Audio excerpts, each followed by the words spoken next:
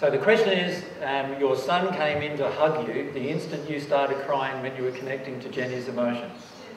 Okay, you're in denial. Yep. What happens is when we have a child, if our child comes up to hug us when we're crying, it's because we want to get out of the emotion.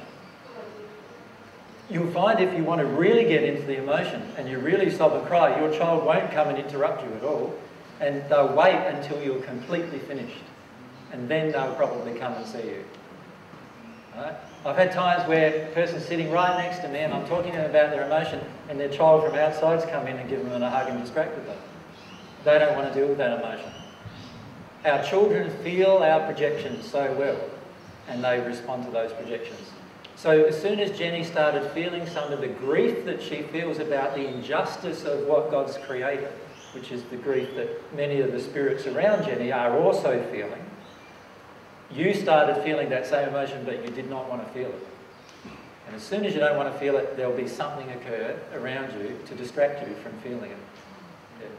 Phone call, son, daughter coming, give you a hug, distracting you. All of these things all happen have a cup of tea, cheer yourself up, chocolate.